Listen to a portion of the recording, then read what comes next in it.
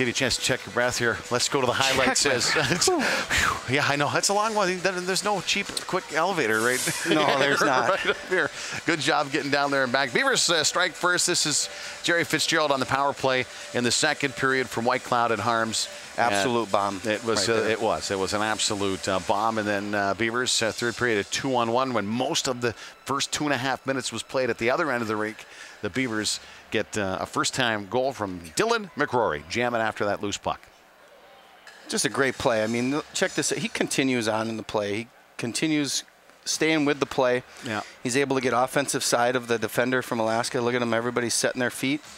He's on the offensive side, and that benefits him right there. Yeah, that puck was loose, and he got a little uh, stick on it. Bauman on the power play here from uh, Dickman and Leo Fitzgerald.